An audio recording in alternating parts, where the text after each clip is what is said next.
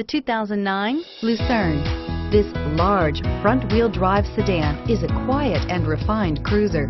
It comes with soft suspension, which results in a plush, absorbent ride. It is contemporary in appearance and available with all modern-day features and is priced below $10,000.